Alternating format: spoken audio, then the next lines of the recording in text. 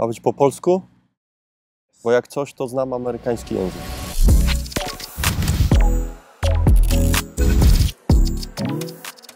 Niech będzie pochwalony Jezus Chrystus. Dzisiaj, kochani, jedno słowo z naszej piszczyńskiej, postulanckiej kaplicy. A tym słowem jest posiadanie.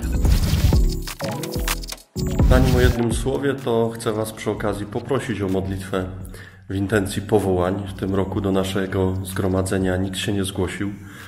W nowicjacie też nikogo nie mamy, więc już mamy dwa lata przerwy w święceniach, więc proszę Was o modlitwę, bo przykro patrzeć, jak ta kaplica postulatu jest po prostu pusta.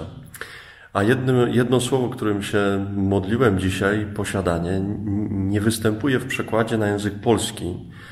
To słowo występuje w takiej formie e, w przekładzie na język angielski, w oficjalnym, zatwierdzonym, liturgicznym tłumaczeniu e, Pisma Świętego właśnie przez episkopat amerykański, tym najnowszym. I dlaczego, dlaczego o nim? Ponieważ zmroziło mnie, gdy porównywałem te przekłady i, e, i, i, i w tym zdaniu, w którym Zacheusz mówi, że swoją połowę majątku oddaje, to w tym tłumaczeniu na język angielski jest possessions, czyli posiadanie e, w odniesieniu do tych dóbr. Natomiast e, zmroziło mnie dlaczego? Ponieważ to słowo possessions to także używane jest wtedy, kiedy chcemy określić kogoś, kto przeżywa opętanie, kto jest opętany przez złego ducha.